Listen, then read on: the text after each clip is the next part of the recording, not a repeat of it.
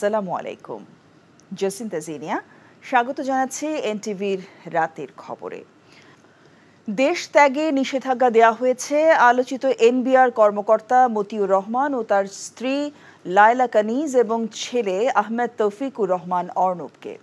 মতিউরের বিরুদ্ধে গণমাধ্যমে প্রকাশিত দুর্নীতির খবর অনুসন্ধানের স্বার্থে এ নিষেধাজ্ঞা দেয় আদালত। আর এই নির্দেশনা মেনেই পরবর্তী ব্যবস্থা নেওয়া হবে বলে পৃথক এক অনুষ্ঠানে জানান পুলিশের আইজি। এদিকে সদ্য ওএসডি, এনবিআর কর্মকর্তার বিরুদ্ধে অনুসন্ধান চলছে বলে জানিয়েছে দুদক। নাজিবুর রহমানের রিপোর্ট। ছাগলকাণ্ডে দেশজুড়ে আলোচনায় আসে রাজস্ব কর্মকর্তা মতিউর রহমান। গণমাধ্যমে প্রকাশিত হতে থাকে একের পর এক নেতিবাচক সংবাদ। পনেরো লাখ টাকার ছাগল বের করে আনে সরকারি এই কর্মকর্তার শত শত কোটি টাকার সম্পদের খোঁজ। শুধু নিজেই নয় স্ত্রী সন্তানদের নামে খোঁজ মেলে বিপুল সম্পদের। নরসিংদী জেলার রায়পুরা উপজেলা পরিষদ চেয়ারম্যান মতিউরের প্রথম স্ত্রী লায়লা কানিজ সেখানে গড়ে তোলে তিরিশ বিঘা জমির উপর সুবিশাল পার্ক ও রিসোর্ট। পার্কের মালিকানা নিয়ে প্রশ্ন উঠলেও এলাকাবাসী বলছেন লায়লা কানিজ লাকি এর সত্ত্বাধিকারী মালিকের নাম হচ্ছে মতিবর। আর বউর নাম হচ্ছে লাকি ম্যাডাম। মালিক লাকি ম্যাডাম। উপজেলা চেয়ারম্যান লাকি ম্যাডাম। মালিক হয়েছে ডক্টর মতিউর রহমান। আচ্ছা। এটা হলো সে করছে তার পরিবারের নামে এটা প্রচার প্রচার। গণমাধ্যমে তার দ্বিতীয় স্ত্রীর সম্পদ নিয়েও খবর প্রকাশিত হয়েছে। সরেজমিনে গিয়ে দেখা যায় বিলাসবহুল ডুপ্লেক্স বাড়ির মালিক তার দ্বিতীয় স্ত্রী। তবে পরিবারের সদস্যদের দাবি ভিন্ন। ডুপ্লেক্স বাড়ি করার মতো কি আমাদের সামর্থ্য নাই? এটা কোনো কথা হইতে পারে না। এখনও আমাদের অনেক সম্পত্তি আমাদের আছে।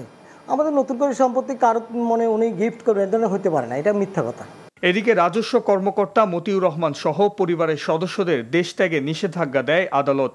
নিষেধাজ্ঞা দেয়ায় পুলিশ সে অনুযায়ী কাজ করবে বলে জানান পুলিশের আইজি চৌধুরী আবদুল্লাল মামুন। আমরা যে কাউকেই যে কোনো সময় স্টপ করতে পারি না।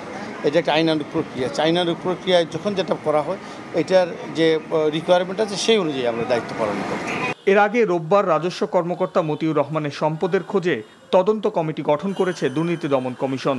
মতিউর রহমানের বিরুদ্ধে অবৈধভাবে সম্পদ অর্জনের বিষয়টি অনুসন্ধানের জন্য একটি তিন সদস্য বিশিষ্ট টিম গঠন করা হয়েছে। সেই টিমের কার্যক্রম ইতোমধ্যে শুরু হয়েছে। অন্যান্য সকল ক্ষেত্রে যেভাবে কার্যক্রম চলে এক্ষেত্রেও তার ব্যত্যয় বা ব্যতিক্রম হবে না। একইভাবে কার্যক্রম চলবে। Najibur Rahman NTV news. Dhaka. এখন জন্ম সনদ দিয়ে খোলো বিকাশ স্টুডেন্ট অ্যাকাউন্ট। নিজের বিকাশ নিজে কর। সমালোচনায় ভীত না হয়ে আত্মমর্যাদা ও আত্মবিশ্বাস নিয়ে দেশের কল্যাণে সবাইকে কাজ করার আহ্বান জানিয়েছেন প্রধানমন্ত্রী শেখ হাসিনা। রাজধানী ওসমানী স্মৃতি মিলনায়তনে শিক্ষা মন্ত্রণালয় আয়োজিত মাধ্যমিক থেকে স্নাতক ও সমমান পর্যায়ের অসচ্ছল মেধাবী শিক্ষার্থীদের উপবৃত্তি ও টিউশন ফি বিতরণ কার্যক্রম উদ্বোধন এবং বঙ্গবন্ধু সৃজনশীল মেধা অন্বেষণ ও বঙ্গবন্ধু শেখ মুজিব স্কলার অ্যাওয়ার্ড প্রদান অনুষ্ঠানে তিনি কথা বলেন। ফাহাদ মোহাম্মদের রিপোর্ট। প্রধানমন্ত্রীর বিশেষ উদ্যোগের একটি শিক্ষা সহায়তা প্রদান কর্মসূচি। প্রতি বছর যে কর্মসূচির আওতায় প্রায় ষাট লাখ অসচ্ছল মেধাবী শিক্ষার্থীদের শিক্ষা জীবন নিশ্চিতে প্রদান করা হয় আর্থিক সহযোগিতা। ওসমানী স্মৃতি মিলনায়তনে এ বছরের মাধ্যমিক থেকে স্নাতক সমমান পর্যায়ের শিক্ষার্থীদের মাঝে উপবৃত্তি ও টিউশন ফি বিতরণ কার্যক্রম উদ্বোধন করেন প্রধানমন্ত্রী শেখ হাসিনা। ডিজিটাল পদ্ধতিতে অ্যাকাউন্টে চলে যাবে নিজেরা সংগ্রহ করতে পারবেন। জ্ঞান নির্ভর মেধাবী জাতি গঠনে যুগান্তকারী এক পদক্ষেপ বঙ্গবন্ধু সৃজনশীল মেধা অন্বেষণ। এবছর আট বিভাগ ও ঢাকা মহানগরী থেকে নির্বাচিত হয়েছে পনেরো জন মেধাবী শিক্ষার্থী। প্রধানমন্ত্রীর হাত থেকে পুরস্কার গ্রহণ করেন নির্বাচিত শিক্ষার্থীরা। উদ্ভাবনী ধারণার আরেক প্রতিযোগিতামূলক আয়োজন বঙ্গবন্ধু শেখ মুজিব স্কলার অ্যাওয়ার্ড। এবছর এই পুরস্কার দেওয়া হয়েছে দেশের পনেরো মেধাবী শিক্ষার্থীকে। বক্তব্যে শিক্ষা ও শিক্ষিত জাতি গঠনে বঙ্গবন্ধুর অবদান তুলে ধরেন প্রধানমন্ত্রী। বলেন, দেশের শিক্ষা ব্যবস্থায় উন্নতি করাই বর্তমান সরকারের মূল লক্ষ্য। শিক্ষা সহায়তা তহবিল সমৃদ্ধ করতে বিত্তবানদের এগিয়ে আসার আহ্বান জানান প্রধানমন্ত্রী। যারা দরিদ্র মেধাবী ছাত্র, ছাত্রী, তাদের শিক্ষা সহায়তা গবেষণা সহায়তা, উচ্চ শিক্ষা, সেই ব্যবস্থাটা করার জন্যই প্রথমে আমরা এই শিক্ষা সহায়তা ট্রাস্ট গঠন করি এবং এক হাজার কোটি টাকার একটা ফান্ড তৈরি করে দিই। বিত্তবানরা যদি এই ট্রাস্ট ফান্ডে অনুদান দেয়, অনেকে দিয়েছে এর মধ্যে। কিন্তু আরও যদি দেয় তাহলে আমি মনে করি যে আরও বেশি আমরা ব্যবহার করতে পারব এই ফান্ডটা সমালোচনায় ভীত না হয়ে পিছের লোকের কথা প্রত্যাখ্যানের পরামর্শ দেন বঙ্গবন্ধু কন্যা। এই স্বাধীনতা ব্যর্থ করবার জন্য অনেক চক্রান্ত হয়েছে। কিন্তু আমরা সব অতিক্রম করেই কিন্তু এগিয়ে যাচ্ছি এবং আমাদের এগিয়ে যেতেই হবে। কিন্তু কিছু তো সংখ্যক লোক থাকে সবসময় কোনো কিছুই ভালো লাগে না আর ভালো হতেও দিতে চায় না। তাদেরকে ইগনোর করতে হবে। তাদেরকে পাত্তা না দিলেই চলল আগে আমরা আমাদের দেশকে নিয়ে আমরা এগিয়ে যাব। এই আত্মবিশ্বাস নিয়ে চলা এটাই আমাদের চলতে হবে। মেধাবী তরুণ প্রজন্মই ভবিষ্যৎ বাংলাদেশ গড়ে তুলবে বলে আশাবাদ ব্যক্ত করেন সরকার প্রধান। এই বাংলাদেশ নিয়ে আর দুশ্চিন্তার আমার কিছু নেই কারণ এখন আমাদের এই ছোট্ট সোনামণিরাই নিয়ে যাবে এই বাংলাদেশকে। স্মার্ট বাংলাদেশ গড়ে ভবিষ্যতে পরিচালনাও তারা করবে। Fahad Mohammad NTV news Dhaka. এখন জন্ম সনদ দিয়ে খোলো বিকাশ স্টুডেন্ট অ্যাকাউন্ট। নিজের বিকাশ নিজে কর। জাতীয় সংসদ ভবনে মুজিব ও স্বাধীনতার শীর্ষক প্রদর্শনীর উদ্বোধন করেছেন প্রধানমন্ত্রী ও সংসদ নেতা শেখ হাসিনা। বিকেলে জাতীয় সংসদ ভবনে প্রথম লেভেলে স্থাপিত মুজিব ও স্বাধীনতা পরিদর্শন করেন তিনি। পরিদর্শনকালে প্রধানমন্ত্রীর সাথে জাতীয় সংসদের speaker doctor Shirin Sharmin Chowdhury, MP উপস্থিত ছিলেন। এ সময় স্পিকার মুজিব ও স্বাধীনতা এই প্রদর্শিত বিভিন্ন স্থির চিত্র ও ঘটনা প্রবাহ সম্পর্কে প্রধানমন্ত্রীকে অবহিত করেন। পরিদর্শন শেষে প্রধানমন্ত্রী পরিদর্শন বইতে স্বাক্ষর করেন এবং মুজিব ও স্বাধীনতার প্রশংসা করেন। তিনি জাতীয় সংসদে মুজিব ও স্বাধীনতা স্থাপনের জন্য speaker doctor Shirin Sharmin Chowdhury, MP সহ সংশ্লিষ্ট সকলকে অভিনন্দন জানান। রোহিঙ্গা সংকট দ্রুত সমাধানে চীনের সহায়তা চেয়েছেন প্রধানমন্ত্রী শেখ হাসিনা। চীনের কমিউনিস্ট পার্টির আন্তর্জাতিক বিভাগের মন্ত্রী লিউ জিয়ান চাও জাতীয় সংসদ ভবন কার্যালয়ে তাঁর সাথে সাক্ষাৎ করার সময় প্রধানমন্ত্রী এই সমর্থন চেয়েছেন। সেই সাথে তিনি বলেন, সমাধানের অনিশ্চয়তার কারণে রোহিঙ্গা সংকট নিয়ে বাংলাদেশ খুবই চিন্তিত, কারণ এরই মধ্যে তাদের এদেশে প্রবেশের ছয় বছর অতিবাহিত হয়েছে।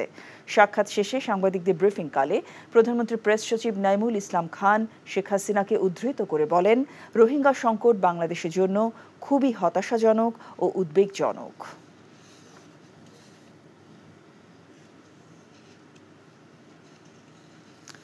বিএনপি চেয়ারপারসন বেগম খালেদা জিয়াকে করোনারি কেয়ার ইউনিট, সিসিইউ থেকে কেবিনে স্থানান্তর করা হয়েছে। বিকেলে তাঁকে কেবিনে নেওয়া হয়। বেগম জিয়ার ব্যক্তিগত চিকিৎসক অধ্যাপক doctor A Z M Zahid Hossain জানিয়েছেন, হৃদযন্ত্রে পেসমেকার বসানোর পর সার্বক্ষণিক চিকিৎসকদের পর্যবেক্ষণে রয়েছেন তিনি। সোমবার বিকেলে বেগম খালেদা জিয়াকে কেবিনে স্থানান্তর করা হয়েছে। কেবিনেই তার সিসিইউ ও আইসিইউ এর সকল সুবিধা রয়েছে। বাহাত্তর ঘণ্টা নিবিড় পর্যবেক্ষণে রাখা হবে তাঁকে। দেশি বিদেশি চিকিৎসকদের সমন্বয়ে গঠিত মেডিকেল বোর্ডের পরামর্শে অধ্যাপক ডাক্তার শাহাবুদ্দিন তালুকদারের নেতৃত্বে একদল বিশেষজ্ঞ চিকিৎসক বেগম খালেদা জিয়ার হৃদযন্ত্রে এই স্থায়ী পেসমেকার স্থাপন করেন। এর আগে শুক্রবার গভীর রাতে অসুস্থ হয়ে পড়লে হাসপাতালে নেওয়া হয় বেগম জিয়াকে। আক্রোশ ও প্রতিহিংসা থেকেই বেগম খালেদা জিয়াকে দুনিয়া থেকে সরিয়ে দেওয়ার চক্রান্ত চলছে। বলে অভিযোগ করেছেন বিএনপির সিনিয়র যুগ্ম মহাসচিব রিজভি আহমেদ। তিনি বলেন, নীল নকশার চক্রান্তের অংশ হিসেবে কারাবন্দী অবস্থায় বেগম খালেদা জিয়ার খাবারে সরকার বিষক্রিয়া করেছে। রিজভি বলেন, দেশকে রাজনীতি ও নেতৃত্ব শূন্য করার মাস্টার প্ল্যান করছে আওয়ামী লীগ। খালেদা জিয়ার রোগমুক্তি কামনায় নয় পল্টনে মহিলা দল আয়োজিত মিলাদ পূর্ব আলোচনায় তিনি এসব কথা বলেন। রিজভি আহমেদ অভিযোগ করেন, প্রধানমন্ত্রী এবারের ভারত সফরে দেশের সার্বভৌমত্ব বিক্রির চুক্তি করা হয়েছে। এছাড়া পুলিশ অ্যাসোসিয়েশনের বিবৃতিকে সংবাদ মাধ্যমের স্বাধীনতার জন্য হুমকি বলেও মন্তব্য করেন রিজভি। একমাত্র এই চক্রান্ত নীল নকশা উনাকে তিলে তিলে বিশ্বাস করার জন্য কারাগারে নিয়ে যাওয়া হয়েছে এবং খাবারের মধ্যে নানা ধরনের ওষুধ প্রয়োগ করে সমস্ত রাগ, সমস্ত ঈর্ষা, সমস্ত আক্রোশ, সমস্ত প্রতিহিংসা তার উপর দিয়ে আজকে নানা জটিল রোগে আক্রান্ত করে তাকে ধুকে ধুকে দুনিয়া থেকে সরিয়ে দেওয়ার চক্রান্ত চালিয়ে যাচ্ছে। এই যে চুক্তি এবার গিয়ে করলেন, এই চুক্তি এটা তো সার্বভৌমত্ব বিক্রি করে দেওয়ার চুক্তি। বেগম খালেদা জিয়ার যথাযথ চিকিৎসা হচ্ছে ও সরকার এ বিষয়ে কোনো কার্পণ্য করেনি বলেই বিদেশ থেকেও চিকিৎসক এসে তাকে পর্যবেক্ষণ করতে পেরেছেন বলে জানিয়েছেন আইনমন্ত্রী। দুপুরে সচিবালয়ে তার কারণে বিএনপি চেয়ারপারসন যথাযথ চিকিৎসা পাচ্ছেন না, এমন বক্তব্যের জবাবে এসব বলেন তিনি। ব্যক্তিগতভাবে আক্রমণ করে তারা নিজেদেরকে হাস্যকর করে তুলছেন বলেও মন্তব্য করেন আইনমন্ত্রী। বিএনপি নেত্রী খালেদা জিয়া যেই চিকিৎসার প্রয়োজন, তিনি যে হাসপাতালে আছেন সেই হাসপাতাল থেকে সেটা পাচ্ছেন বলেই কিন্তু এখন পর্যন্ত তিনি সুস্থ আছেন। এখানকার যারা চিকিৎসক, তারা মনে করেছিলেন বাইরের থেকে চিকিৎসক এনে তার কিছু চিকিৎসা করতে হবে। তখন সরকার কিন্তু সেই পারমিশন অনুমতি দিতে কার্পণ্য করেন নাই। যারা এই কথা বলছেন যে আমার জন্য চিকিৎসা পাচ্ছেন না, তারা নিজেকে হাস্যস্কর করছেন। আগামী আট থেকে এগারো জুলাই প্রধানমন্ত্রী শেখ হাসিনার চীন সফরে বাণিজ্য, বিনিয়োগ ও ব্রিক্সে বাংলাদেশের অন্তর্ভুক্তির বিষয় গুরুত্ব পাবে বলে জানিয়েছেন পররাষ্ট্রমন্ত্রী ড. হাসান মাহমুদ। দুপুরে ঢাকায় সফররত চীনের কমিউনিস্ট পার্টি আন্তর্জাতিক বিভাগের মন্ত্রী লিউ জিয়ান শাওয়ের সাথে বৈঠক শেষে এ কথা জানান তিনি। এ সময় রোহিঙ্গা প্রত্যাবাসনে সহযোগিতার কথা পুনর্ব্যক্ত করেছেন চীনা মন্ত্রী। অন্য এক অনুষ্ঠানে পররাষ্ট্রমন্ত্রী বলেন, একটি বিশেষ মহল সরকারের বিরুদ্ধে ষড়যন্ত্র চালাচ্ছে। তামজিদ সুমনের রিপোর্ট। রাজধানীর হোটেল ইন্টারকন্টিনেন্টালে পররাষ্ট্রমন্ত্রীর সাথে বৈঠক করেন চীনের কমিউনিস্ট পার্টির আন্তর্জাতিক বিভাগের মন্ত্রী লিউ জিয়ানশাও আলোচনায় প্রধানমন্ত্রীর চীন সফরে কোন বিষয়গুলো গুরুত্ব পাবে সে ব্যাপারে কথা বলেন তারা। বাণিজ্য ঘাটতি কমিয়ে কীভাবে বিনিয়োগ বাড়ানো যায় সে বিষয়েও আলোচনা করেন দুদেশের মন্ত্রী। প্রধানমন্ত্রী শেখ হাসিনার চীন সফর দুই দেশের সম্পর্ককে আরও দৃঢ় করবে। তার এই সফরকালে ঢাকা বেইজিংয়ের মধ্যে কয়েকটি চুক্তি সই হতে পারে যার প্রস্তুতি চলছে। স্মার্ট বাংলাদেশ বিনির্মাণে পাশে থাকবে চীন। প্রধানমন্ত্রীর আসন্ন চীন সফর দু দেশের সম্পর্ককে আরও দৃঢ় করবে জানিয়ে মন্ত্রী বলেন সফরকালে ঢাকা বেইজিংয়ের মধ্যে কয়েকটি চুক্তি সই হতে পারে। ব্রিক্সে বাংলাদেশের অন্তর্ভুক্তি নিয়ে চীনের সহযোগিতা চাওয়া হয়েছে বলেও জানান মন্ত্রী। প্রধানমন্ত্রী সফরে যাচ্ছেন। সেই সফরের গুরুত্বপূর্ণ অগ্রগতি হবে সেটি আমরা প্রত্যাশা করেছি। যে কোনো ফরম্যাটে ব্রিক্সে যাতে বাংলাদেশের অন্তর্ভুক্তি হয়, সেটা নিয়ে আলোচনা করেছি, তাদের সমর্থন, সহায়তা কামনা করেছি। রোহিঙ্গাদের রিপ্যাট্রিয়েশন শুরু করার ব্যাপারে চায়নার সহায়তা কামনা করেছি। এদিকে জাতীয় প্রেস ক্লাবে অপর এক অনুষ্ঠানে পররাষ্ট্রমন্ত্রী বলেন, বিএনপির পাশাপাশি একটি বিশেষ মহল সরকারের বিরুদ্ধে ষড়যন্ত্র চালাচ্ছে। বলেন, দুর্নীতির অভিযোগ প্রমাণিত হওয়ার আগেই কোনো কোনো প্রতিষ্ঠানকে প্রশ্নবিদ্ধ করা হচ্ছে। একটি বিশেষ মহল সরকারের বিরুদ্ধে বিএনপির পাশাপাশি ষড়যন্ত্র লিপ্ত। সেই বিশেষ মহলের সাথে দু একটি গণমাধ্যমও যুক্ত। ইচ্ছাকৃতভাবে কোনো প্রতিষ্ঠানকে প্রশ্নবিদ্ধ করার প্রয়াস হিসাবে যদি ধারাবাহিকভাবে সংবাদ পরিবেশন করা হয় তাহলে বুঝতে হবে সেটি ষড়যন্ত্রের অংশ। Tamjid Sumon NTV news Dhaka. অবৈধ সম্পদ অর্জনের অভিযোগে সাবেক আইজিপি বেনজির আহমেদের স্ত্রী এবং দুই মেয়েকে দুদক তলব করলেও তারা হাজির না হয়ে আইনজীবীর মাধ্যমে বক্তব্য জমা দিয়েছেন। দুদক সচিব সাংবাদিকদের এ তথ্য জানান। বেনজির আহমেদের স্ত্রী এবং দুই কন্যার ব্যক্তিগত শুনানির জন্য আজ চব্বিশ জুন নির্ধারিত করা ছিল তারিখ তবে তারা আজ উপস্থিত হননি এবং এই তারিখ বর্ধিত করার বিষয়ে কোনো আবেদনপত্র দেননি। তবে একটি লিখিত দিয়ে বক্তব্য দিয়েছেন আমাদের অনুসন্ধানকারী টিম এই আবেদনের বিষয় তারা প্রয়োজনীয় কার্যক্রম গ্রহণ করছেন। এবং নির্ধারিত সময়ের মধ্যে আশা করছি তারা তাদের প্রতিবেদন দাখিল করতে পারবেন। এদিকে সাবেক সেনাপ্রধান ও পুলিশের সাবেক আইজি সহ রাষ্ট্রীয় ক্ষমতা ব্যবহার করে দুর্নীতির অভিযোগের বিচারে বিশেষ কমিশন গঠনের দাবি জানিয়েছেন ওয়ার্কার্স পার্টির সভাপতি রাশেদ খান মেনন। সংসদে বাজেট বক্তৃতায় তিনি এ দাবি জানান। রাষ্ট্রীয় ক্ষমতার অপব্যবহার করে দুর্নীতি সম্পত্তি যে চিত্র বেরিয়ে আসছে তা দেশের ভাবমূর্তি কেবল নয়, সরকারি বিভিন্ন প্রতিষ্ঠান সম্পর্কে জনমনে অনাস্থা সৃষ্টি করছে। একথা এখন আর অস্বীকার করার উপায় নাই যে সাবেক পুলিশ প্রধান ও সেনা প্রধানের দুর্নীতি চিত্র হিমশৈলে টিপ অফ আইসবার্গ মাত্র আমি কেবল বলব, দুর্নীতির এই মহোৎসব বন্ধ করতে এখনই বিশেষ কমিশন গঠন করে দুর্নীতিবাজদের বিরুদ্ধে বিচার করা হোক তাদের অর্থ সম্পদ বাজেয়াপ্ত করা হোক এবং কঠিনতম শাস্তি দেওয়া হোক। ঋণ খেলাপি, অর্থ আত্মসৎকারের জন্য ট্রাইব্যুনাল গঠন করা হোক। তিস্তা চুক্তি প্রসঙ্গ। পশ্চিমবঙ্গের মানুষের প্রয়োজনে বাংলাদেশের সঙ্গে তিস্তা নদীর পানি ভাগাভাগি সম্ভব নয় বলে স্পষ্ট জানিয়ে দিয়েছেন রাজ্যটির মুখ্যমন্ত্রী মমতা বন্দ্যোপাধ্যায়। ভারতের প্রধানমন্ত্রী নরেন্দ্র মোদীকে লেখা চিঠিতে এ কথা জানান তিনি। এর কারণ হিসেবে তিনি পশ্চিমবঙ্গের উত্তরাঞ্চলে মানুষের সেচ ও খাওয়ার জন্য পানির প্রয়োজন বলে উল্লেখ করেন। তিনি বলেন, তিস্তায় পানি প্রবাহ বছরের পর বছর ধরে কমে গেছে। বাংলাদেশের সঙ্গে পানি ভাগাভাগি করা হলে উত্তরবঙ্গের লাখ লাখ মানুষ সেচের পানি পানির অপর্যাপ্ততার কারণে মারাত্মকভাবে ক্ষতিগ্রস্ত হবেন। আর এ কারণে পশ্চিমবঙ্গের অংশগ্রহণ ছাড়া তিস্তা ও গঙ্গার পানি বন্টন নিয়ে বাংলাদেশের সঙ্গে ভারতের কোনো আলোচনা করা উচিত হবে না বলে চিঠিতে উল্লেখ করেন মমতা। বাংলাদেশের মানুষের সঙ্গে ভারত এবং পশ্চিমবঙ্গের মানুষের বন্ধুত্বপূর্ণ সম্পর্কের কথাও মনে করিয়ে দেন পশ্চিমবঙ্গের মুখ্যমন্ত্রী।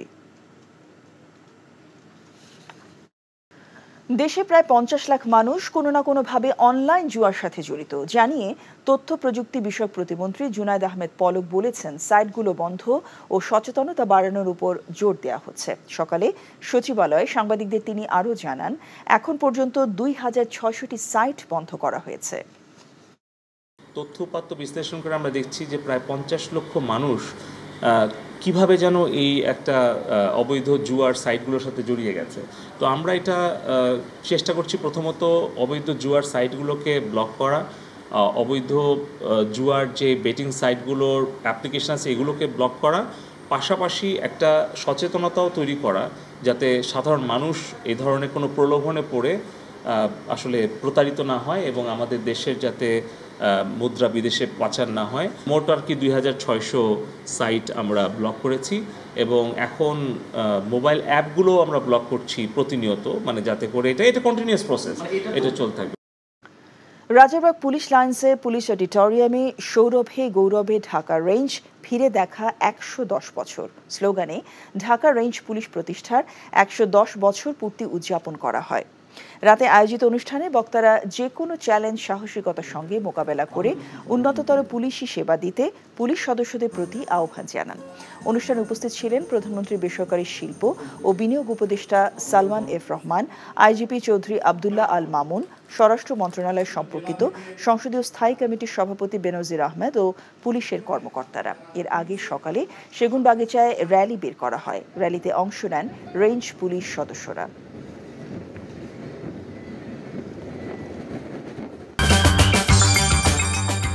এই ছিল রাতের খবরে এই খবরের ভিডিও সহ আপডেট জানতে ভিজিট করুন এনটিভি অনলাইন www.ntvbd.com এছাড়াও এনটিভি জনপ্রিয় সব অনুষ্ঠান ও খবরের আপডেট জানতে ভিজিট করুন আমাদের ইউটিউব ভেরিফাইড ফেসবুক পেজ রাত একটায় মধ্যরাতের খবর। দেখার আমন্ত্রণ জানিয়ে শেষ করছি। সবাইকে ধন্যবাদ। শুভরাত্রি।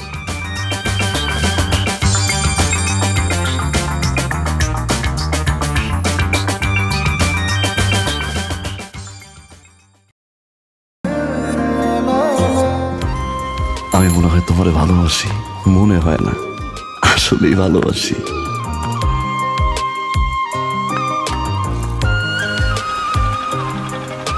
আপনি যে আমার ভালোবাসেন আমি টের পাই।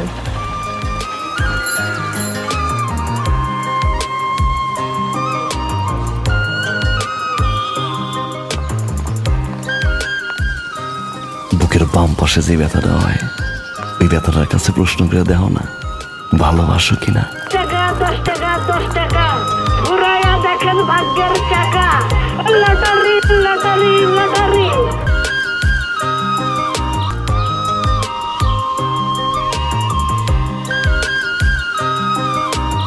আপনি না চোখের যন্ত্রণা বুঝতে পারেন, বুঝে নেন।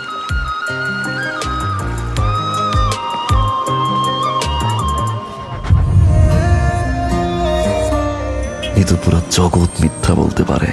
মানুষের চোখ কিন্তু কখনো মিথ্যা বলে না। তোমার ওই চোখ বলে তুমি আমারে ভালোবাসো। আপনি কি আমার দেখছেন? এখন জন্ম সনদ দিয়ে খোলো বিকাশ স্টুডেন্ট অ্যাকাউন্ট নিজের বিকাশ নিজে কর।